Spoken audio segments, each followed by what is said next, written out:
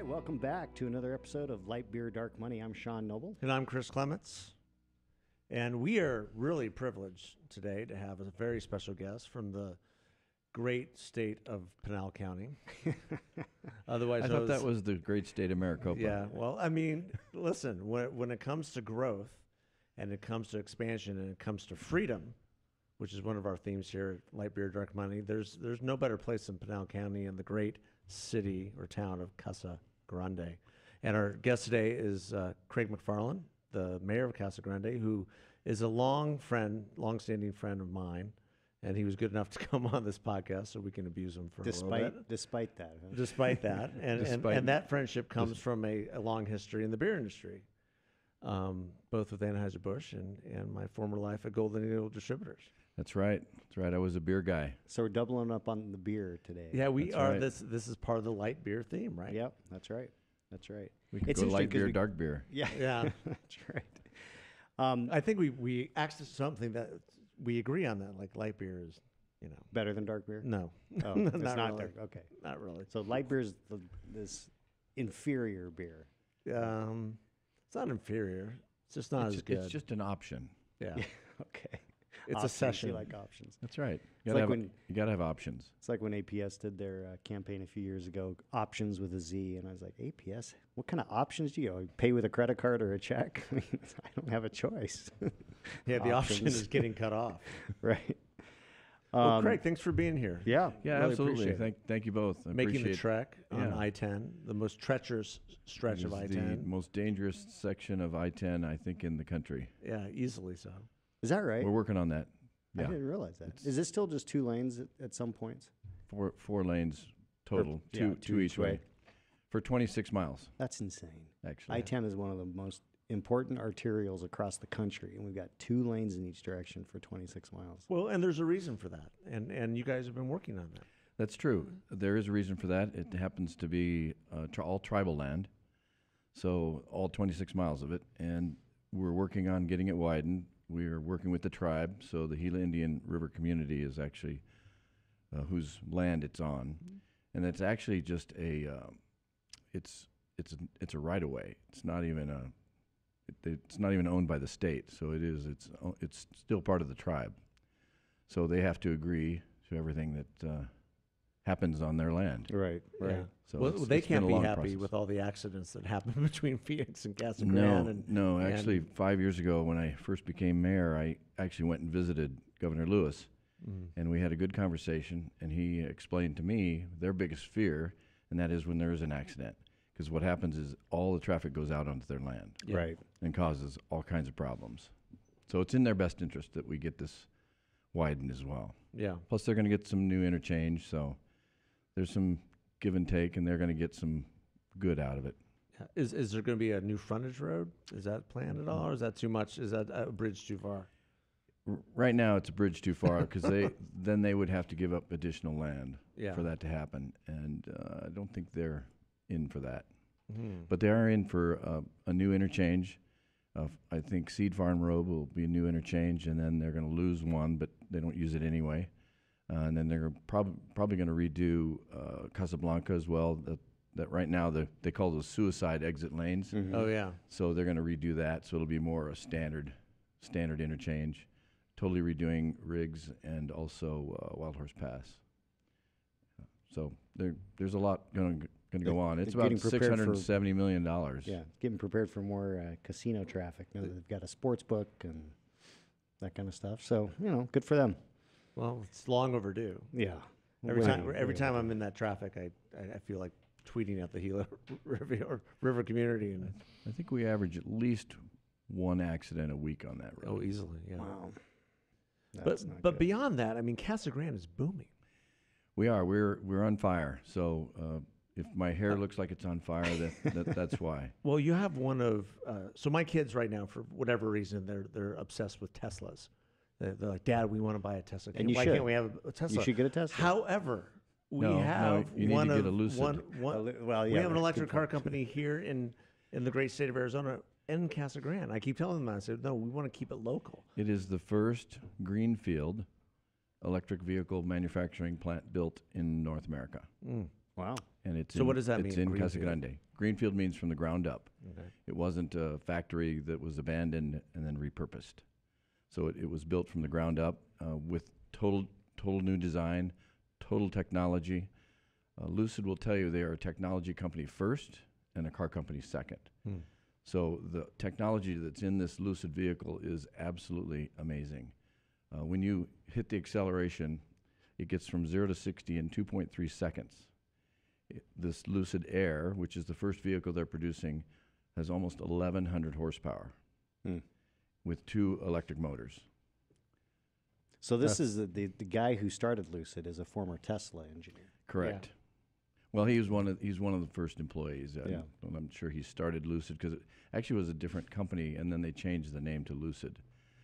Um, and that's when they decided to be, be a car manufacturer. Before they were a technology company, so they were making these batteries, they were making these motors, and then they decided they could do it better than Tesla. Yeah. Uh, and this vehicle is amazing because actually, when it decelerates, it doesn't. You don't hit a brake; it just decelerates, and the calipers in the in the wheels actually recharge the battery. So you have one, I want one. They should but give you've you- driven one. I've I have the first ones. The first ones out on the market are, are right around one hundred sixty nine thousand dollars. So little- it's a, little a bit out of my price range, Yeah. But Oh they my. now the- the- especially on a mayor's salary. right right. I think that Lucid is going the high end to start, Yeah. but then they they're going to go to a lower end. They're- They're Well, actually low going end's to try going to to be sixty nine thousand. oh 69. So I thought that they were going to try to undercut the Model 3 from the Tesla, which is a little bit less than that. but, Yeah. Yeah, I um, think I it'll think be interesting to see how this plays out. Yeah, I think they're still going after the high end market. That's their primary market. Well, they have But a beautiful showroom just near here where we're broadcasting from at, at uh, Scottsdale Fashion Square, and Yeah, they have a uh, interesting car experience that you can go through. You know, through through the virtual car experience. yeah, They delivered their first uh, ten vehicles this past Saturday. Oh no kidding. So yeah, so So that that, that was, was there a like a, a delivery monumental. groundbreaking sort of celebration? They had a big celebration, but it was in California at their Oh, headquarters. Their okay. headquarters are in California. So what what what went into making them want to come to Casa Grande? Well, they looked all over the country and uh, settled on about six sites, and then went and did a bunch of site visits uh, to those locations, and ultimately decided on Casa Grande. And primarily because of its location, uh, we have uh, the Union Pacific Railroad main line. We have I 8, uh, which is a direct connection to California. We also have I 10, uh, and we have the, the land uh, that they could they could uh, put this plant on. They they sit on about 550 acres today. They are about a million square feet right now as we speak, and they've started phase two, and phase two is 2.8 million more square feet. oh, Wow. wow. And when they're done, it's five million square feet of plant. Wow. That's amazing. 6,000 employees by the time we're done. Right now, today we sit at about 12 to 1,300, probably 1,500 by the end of the year. So kind of kind of puts Casa Grande on the map. Oh, no, no, no question. Um, I mean, the growth has been so. what what other things? I mean, you probably can't talk about a lot of these, but I got to believe that this will spark additional companies coming into Casa Grande. I always called it. Growing up in Shola was Casa Grande. You know, there, there's two ways two ways the to say natives it. call it Casa Grande. You Yeah, know, the, the- you, the- you can call it Casa Grande, and really not a D. It, No, it just kind of ends, right? It just goes Casa Grande or Casa Grande. yeah. the mayor so- calls it Casa Grande. Casa I'm not good Grande. at rolling the R's. That's the problem. Yeah, I get criticized by my locals sometimes when I when I'm I sure say the old farmers Grande. are like, "What?" Yeah. It's it's standing Well, joke. it's- In I fact, mean, most people come in town. They go, "All right, is it Casa Grande, Casa Grande, or Casa Grande?" I say, "It's, it's any way you want to say it." We're happy you're here. Either way, it means the big house, and either That's way, right. it's kind of living up to its name because it's, um, it's just the, the growth is tremendous. It's it's become the big house. Yeah, we Yeah. we will issue over 2,000 building permits, home new home building permits this year, and that's a, about a 70% increase over last year. And last year was probably a 100% increase over the year before. So it's building. Yeah. Um, right now, we have probably 15 builders in town. We've got 3,000 apartments coming. Um, so it's Wow. it's really uh, it's, it's really exploding right now. So we're you're we're trying to keep up with with our infrastructure. I'm so sure. it's, uh, that's the biggest challenge. And you're about fifty-five thousand people as of twenty twenty and. 58, 58, and, Yeah, so and now we estimate we're about 62 now. Wow, man, that's amazing. Next 10 years, probably 100. So maybe another 40,000 in the next 10 years. And, If- and and the migration is it mostly Californians? Is it mostly it's kind of all over the place? It's really all over. We've we've seen uh, a l- lot of California, Yeah. um, so a lot of Phoenix, and a lot of uh, Oregon, Washington, mainly West Coast. Mainly okay. Some Texas Escape. actually, tex- some Texas, which Hmm. is I found interesting. That is interesting. And they've and they've also uh, hired people out of Michigan, you know, from the Detroit area. So there's uh, there's some Detroit folks that have moved into town that work for Lucid. Right, right.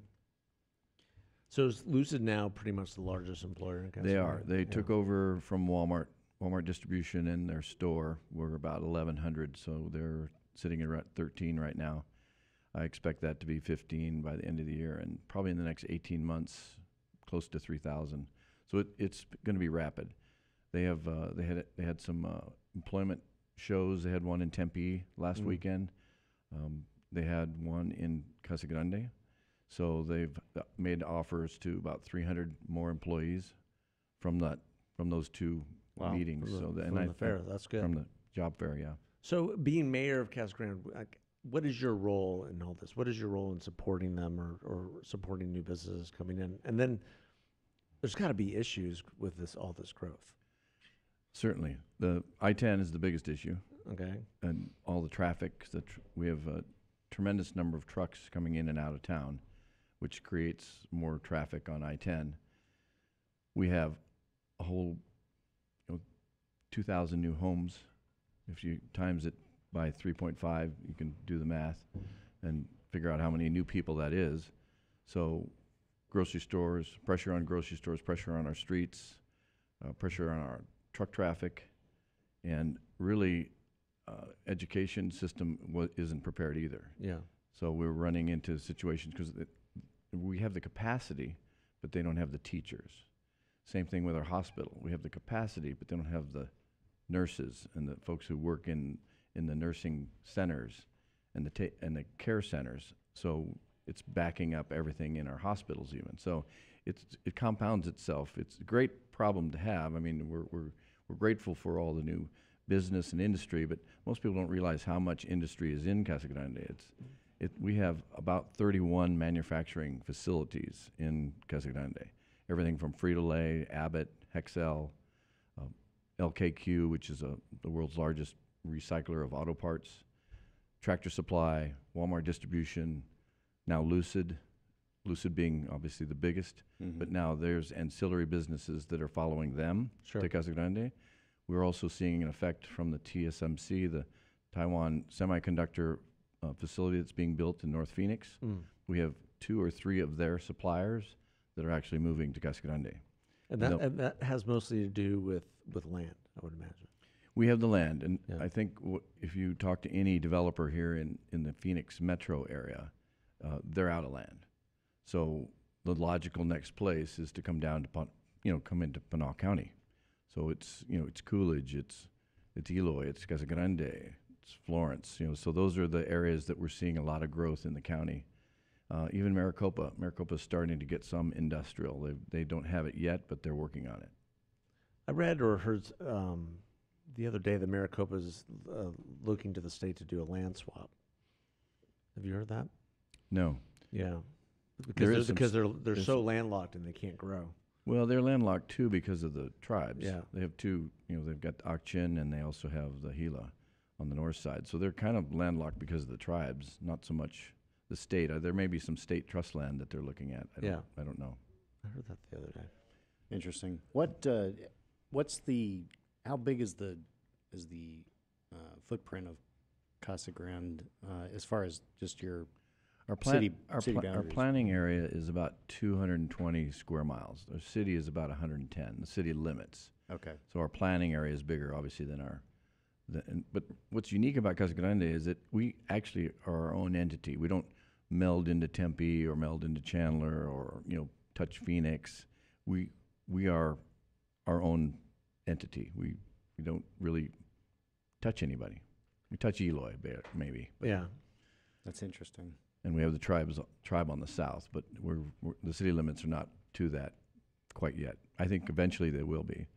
They're building a new racetrack off of I-8 and Blanca Road. I don't know if you've heard about that, but it's uh, Tessa, and it will be open here by the end of the year. Really?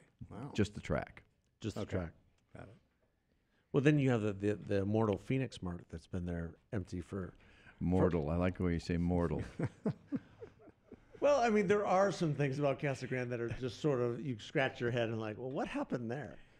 well, I will tell you that last week they reached out to us, Yeah. so they're not dead. Okay. And, and, and just for our viewers and listeners, and what, what is the Phoenix Mart that's been Phoenix empty, yeah, empty Phoenix for the better part of for 10 six years? Years, six years, seven years now. six? Yeah, um, it it was planned to be a sourcing center. So there are two other sourcing centers in the world. One is in Dubai, and the other is in China, Hmm. and they are very large, like shopping centers for industry. So as a sourcing center, you would go there to buy. If uh, let's say I was a, I was building a new Marriott hotel, and I'm the purchaser, I would go there. I could buy my pillows, my beds, all the silverware I might need, lights I might need, and you could actually see them, touch them, and then purchase them all in one spot. You don't have to travel all over the place. You could get your furniture there. You could get, you could order everything from that one location. That that's the concept. And it's been, it hasn't worked out so well over the last six years. No, I'm guessing that with the uh, supply it's chain something I don't like to talk about. Yeah. Okay. But with the supply chain issues, th- I got to believe that there's that's probably why you got in the call. There's some, some renewed interest in, you know, tightening up these distribution. Th- There is, issues. and there's and there's a lot of money out there. Honestly, um, that that I'm seeing anyway from from the city's perspective and, and investment perspective.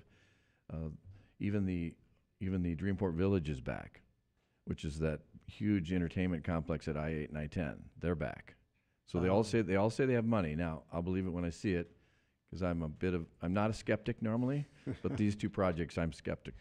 I'm a skeptic. What, what happened to the? Wasn't there supposed to be like a big water park or something? That's like it. That, That was That's it. Dreamport Village, That's yeah. Dreamport Village. That's it. okay, then I'm remembering it correctly. Yeah. There's all these big plans that people come into Casa Grande with, and then they kind of fade as as reality sets in. Well, five, was it five years? Five years ago, six years ago, I was talking to our city manager, Larry Rains, and I told him, and he, he and I a- agreed on this. But I told, I said, if, Larry, if one of these projects happen, we're golden. Yeah. So we did get one. We got Lucid. Okay. there, there you go. How long did that deal take to put together? Gosh, a couple years probably. It's interesting because I think people probably don't recognize how much work goes into It was getting a, something here, and then it takes time for it to actually come about. it was a cooperative effort. A lot of work uh, from ACA, from the you know Arizona Commerce Authority, a lot of work from the county, and a lot of work from the city. So it was it was really a it, it was a group effort to get them uh, up to where they're at today. But once they once they broke ground, they we literally had this plant operating within a year. That's amazing. Yeah. It, it is amazing, That's remarkable. and delivered their first cars within that year. Actually, Yeah, that's incredible. What what made you decide to become mayor? I mean, of, of all the things, that's the question I think I get asked the most. I'm sure. I Why would you want to put yourself in this position of being mayor of the great city of and and and, l- and live through a pandemic. right. and live through and and that, that's a great segue as as well is, is yeah how how Casa Grande dealt with the pandemic and Well, issues around there. But but let's start with like yeah. what, what made you want to become mayor? well, after working for you for ten years, you thought I it was would be I was, easier than I that. was, pre- I was prepared for anything. How's that? you taught me well, Chris. I don't know about that, but We but it was a great ten years. it was it was it until was. the We- very end. We had we had a we had a good run, Yeah, we did. and uh, I had committed to work for you for ten years for for your company, and uh, after ten years, I retired, and that was thirty six years in the beer business. So I think Wow. that that's long enough. Well, it even goes back farther than that because your father That's true. officed in this very building. Yeah, in this, while bu- we in this right? very building. Yeah. This this could And- have been his and- office right and- here. And his father was the DM, the district manager to my dad. No kidding. Oh yeah, this Wow. is how. This, so back this in happened. 1979, he transferred here from St. Louis and set up office in this building. And I, I think it's either on the fourth floor or the sixth floor, one of the two. So it's pretty. right it's here? pretty. That's yeah, incredible. it's pretty uh, ironic that here we are. You know, 40 uh, some odd years later. I don't Yeah. know. Yeah. Um, but yeah, he worked for Anheuser-Busch for 30 years. So I've been part of the Anheuser-Busch family probably since I was, I don't know, 10, 8, That's incredible. 8, maybe 8. Yeah. So long time. Yeah. But good good run, good time. And I retired and we were sitting around a table talking with our current mayor who was termed out. He he was going to be done in a year. And so I raised my hand. I said, because we were looking for volunteers to become It mayor. was, it was the Casa Grande Brain Trust. It, Right. wa- it was, it was, uh, especially Wh- at the time. Were you at the Desert Sands? Was No, no, no. we were, we were not. We were in a conference room. So, Uh, but see, we I might have been having a beverage. You never know. See, I would have thought it would have happened at the Desert Sands, like most most things do. Yeah, well, no, Or it did. didn't, it didn't happen there. But we we did. Uh, I volunteered basically, and so they said they would support me, and uh, the rest is kind of history. I've r- I've uh, this is my third term. Um, the mayor is in for uh, two-year terms, and four max. So four Okay. terms, you're termed out. So I can run one more time, and I've actually just announced that I am running again. So Oh, um, congratulations. Are you up well, in he's- when's when's your election? well, the primary will be in uh, August of 22. Okay. So he's- so same as But you've been unopposed for all those years. I have. I've been lucky that way. Yeah. Do you think? Um, You I think? think it's because I raised too much money and nobody wanted to run against me. Do you think uh, you might uh, have some competition this year? I might. There's somebody who's pulled a packet, so we'll see. I, I'm not too concerned about him, uh, I, although you know I'm going to pay attention. Sure. I think that my track record's been pretty good. We've accomplished a lot. We've improved our communications with our education system. We're actually uh, we're actually collaborating with our education system, which we've never done before, because we do have a separate elementary school district and a separate high school district, plus our charter schools, plus our Central Arizona College, uh, plus the universities. You know, so I'm trying to. In fact, today I'm meeting with ASU. They're coming down to uh, talk about potential campus or Yeah. collaborative effort with our technology and engineering and all the things we've got going. Uh, we think that we can offer them and their schools some opportunities for internships and other opportunities for employment, even. sure. So there's some great synergies I think that we can create, and we've been able to do that through our elementary, high school, and Central Arizona College. So Central Arizona College has been a great partner of ours. We have this uh, Drive 48 Technology Center that was built with with the help of ACA, uh, the City of Casa Grande, and CAC, Central Arizona College. So we've actually opened this training facility. It has robotics training in it, and it actually pr- produces a certificate for an individual then that gets hired by Lucid. So Lucid actually will hire them directly from that program. Oh wow, Yeah. that's great. That's tremendous. What What do you think has been your biggest accomplishment as mayor?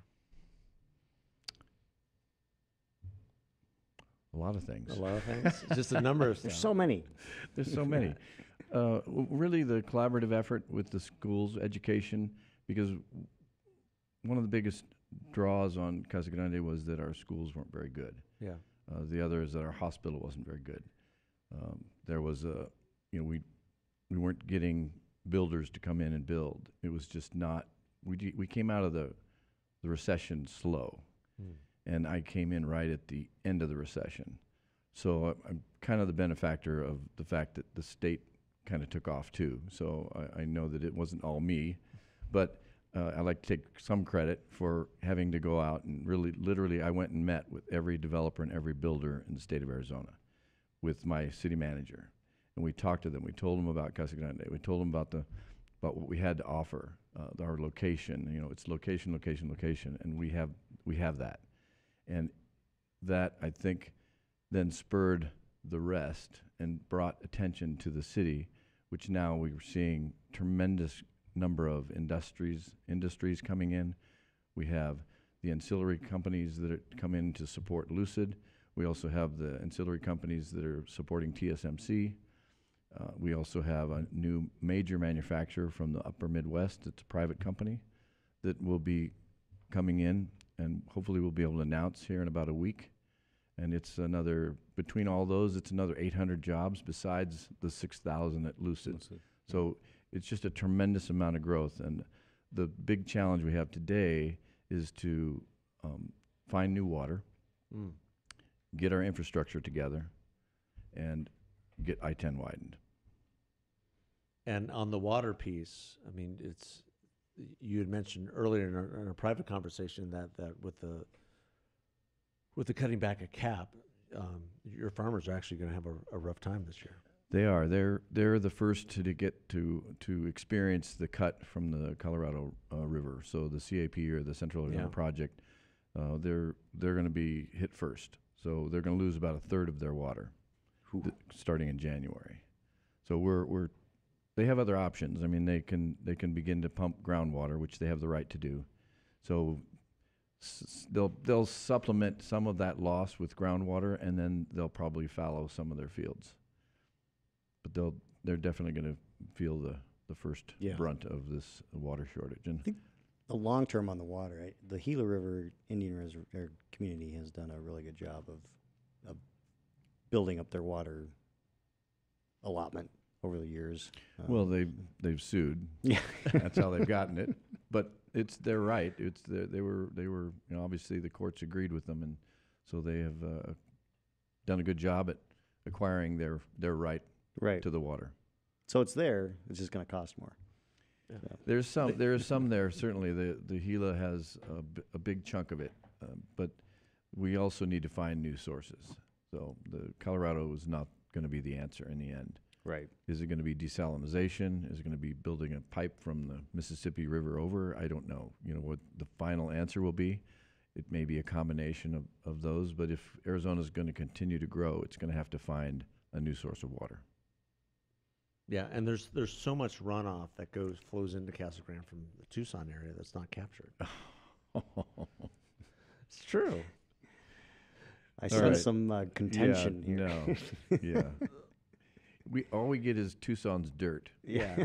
it's just Comes the in the But, form- but but the water rights Comes in rights the are, form of a haboob. yeah, but the right. water rights. I mean, we've had this discussion. The water rights are held by by by farmers and by by the tribes, and so I mean, there's been no proactive water policy in Tucson for decades. There's there's no there's no reservoirs. There's no canals. There's nothing wh- where you could capture a lot of that, and a lot of it has to do with the rights are not in Tucson. They're downstream or upstream or whatever you want to say.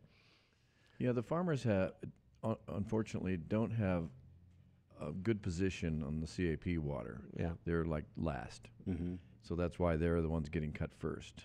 M and I, which is municipal and industrial water, is probably a pretty high priority. It, it's it's one of the higher ones. Uh, the tribes have are top.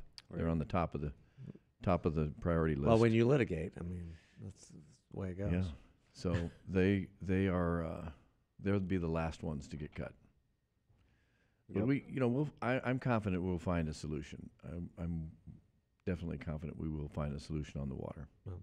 Well, in terms of infrastructure too, well, we, we spoke earlier that I mean, you the city of Casa Grande has been involved in some litigation here recently with regard to its. its Well, its- not the city, but the county. the yes. county. The, okay, the Pinal Pinal County. Regional Transportation Authority, which actually I'm I am the chairman of the Pinal Regional Transportation Authority, and so uh, the the Goldwater Institute uh, sued the county and the PRTA uh, because we passed a because half that's cent- what the Goldwater Institute does. They They, sue. because we do sue. passed we passed a half cent sales tax so that we could build roads like like uh, Maricopa County does. So the Maricopa area governments MAG hmm uh, has a half cent sales tax, which I believe will be on your next ballot here in the city uh, to extend it because they they're at their end of the life of that tax. But look what it's built: 101, the 202, the 303. I mean, it's if you didn't have that, Phoenix wouldn't be what it is today. Right. So, you know, Pinal County being the little brother to the south, uh, we want to be like Maricopa County. Maybe You don't wanna quite be, as big. You don't want to be like Pima County. No. No. Nobody wants to be Pima County. The People's Republic. just, just you just cross that border. You're in a different world. Hey, you're the one that left Tucson. Hey, For a there's- reason. There, there's there's a lot of people leaving Tucson.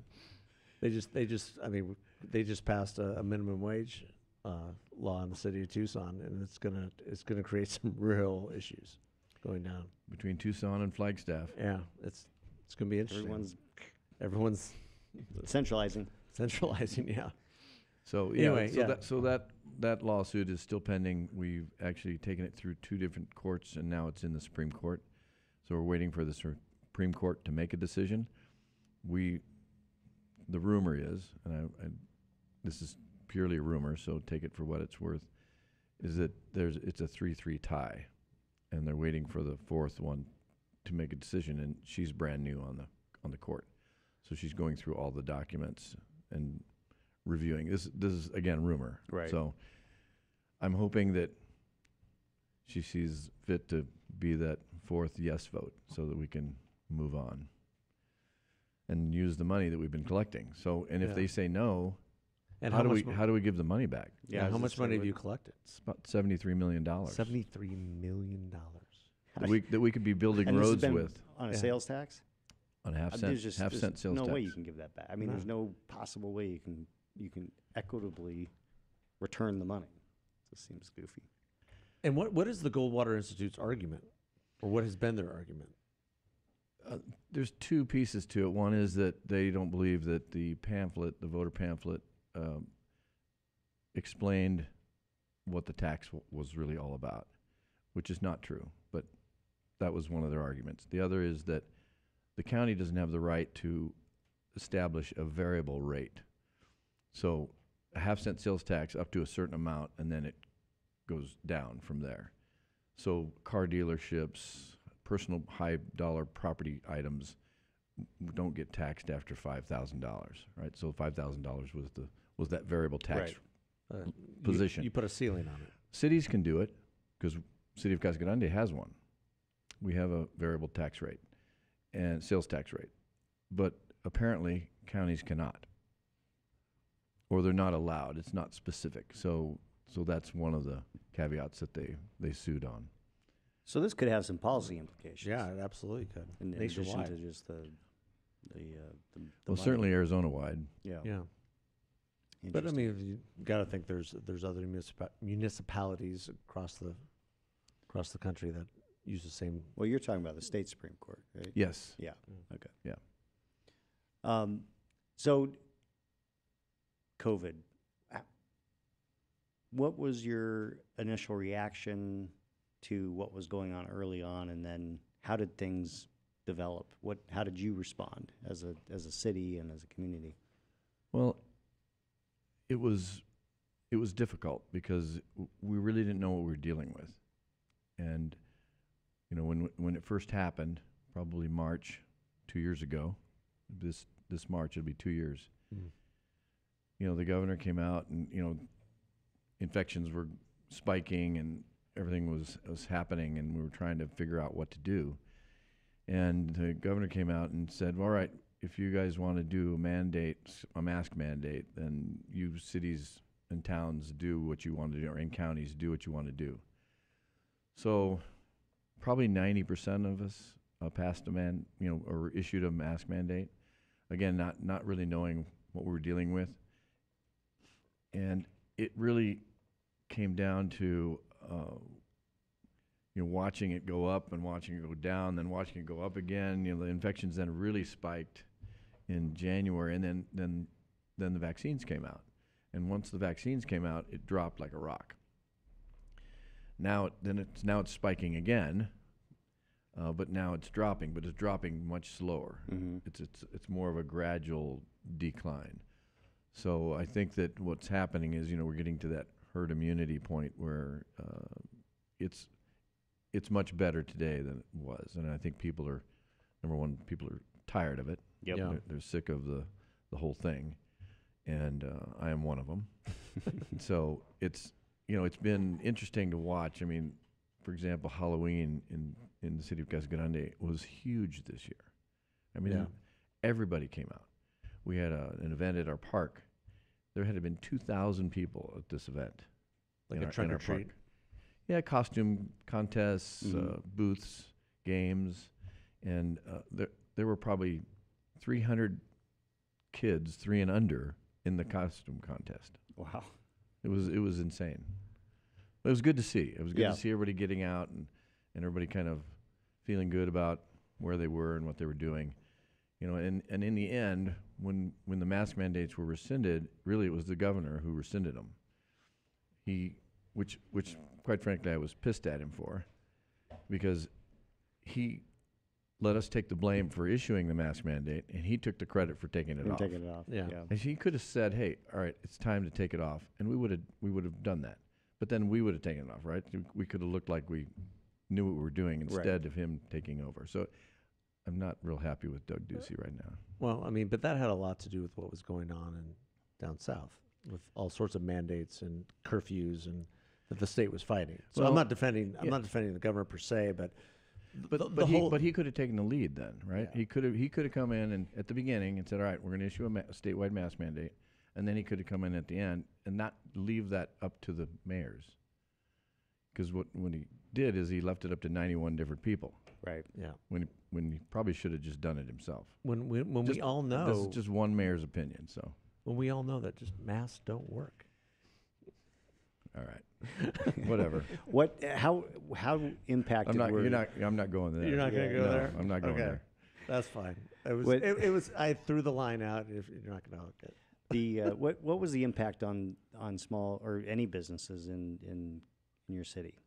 Is it a city or a town? City, right? We're a city. We're a charter city. So, City of Casa Grande has been a charter city since uh, 17, oh, not 17, 18, 19, 1917. 1970. Okay. So uh, we were founded in 1875 and, and incorporated in 1917. And so, uh, as a charter city, you know,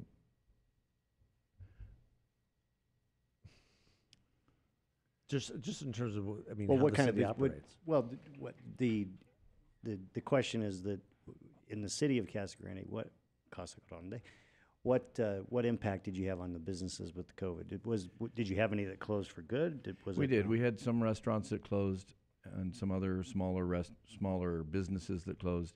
It's it really was if if you weren't doing very well to begin with, you you probably ended up closing. I think the long-term impact is still to be felt. I don't I don't know that we're totally out of the woods in terms of business and business openings, closings. We're fortunate because we have a lot of new ones coming in hmm um, everything from a Texas Roadhouse to you know some uh, uh, a Latino you know ice cream parlor. So new businesses are coming. Some have closed. So we haven't really the net net of it is we actually have more opening.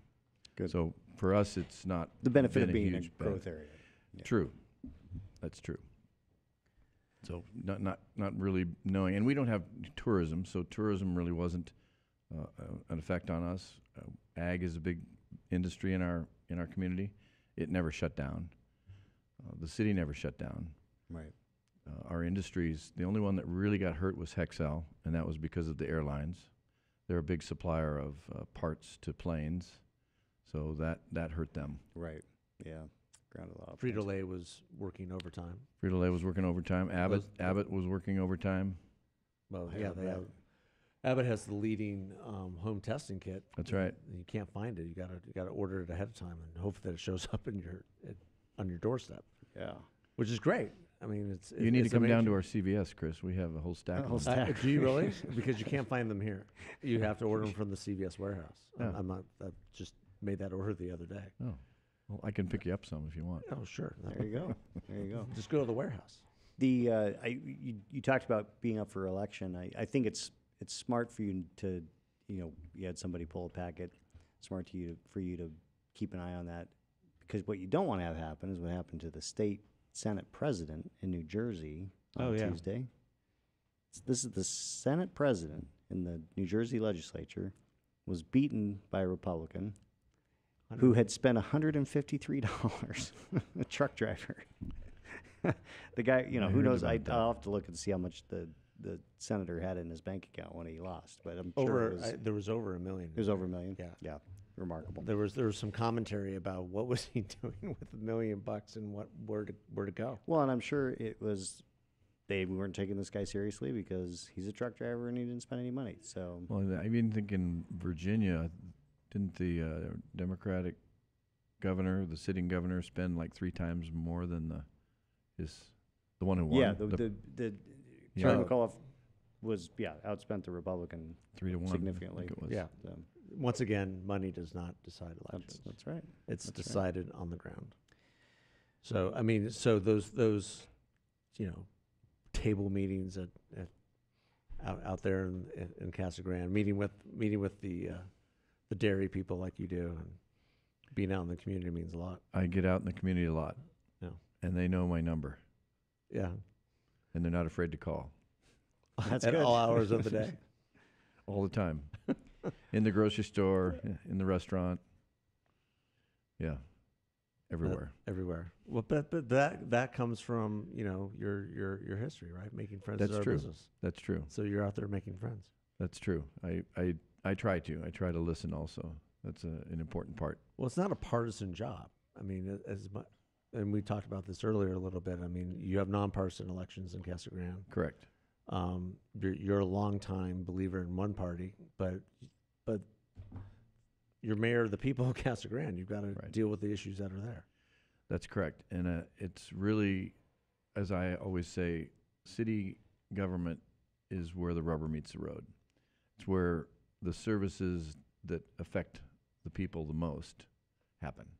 And if the cities and towns aren't looking after their community, nobody else will. That's a great point. Awesome. point. Well, we'll uh, we'll definitely want to have you back as we get closer to the election. You can update on what's happening, and we we really appreciate you taking and this the time. and this new company that's coming in from the Midwest. That's right. Yeah. I, I hopefully I can uh, scream Another about it at a another point in company for for well, we'll, Casa what we'll Grande. do is we'll tweet this episode with that announcement once that happens. Yeah, absolutely. There you go. Again, I mean, if we'll it's if it it's out before happening that, this week or Uh, Next probably week? next week. next week. but- Mhm. All right. I'm, Good. ho- I'm hoping. We, It's we're s- finalizing the development agreement and some other stuff. So once that's Well, done, then they'll then they'll start to close on the property. And once they do that, then we're we're home. All That's around great. pins and needles. Thank you, Mayor, for being here. yeah. Thank you Thank so much. you. for Thank you coming. both. Thank- Appreciate your friendship. Always Yeah. appreciate you. Uh, Always good seeing you, Chris. yeah, it is good. It's Tell your seeing family you. I said hello. I will absolutely. Great. Great. Thanks, everybody. Bye.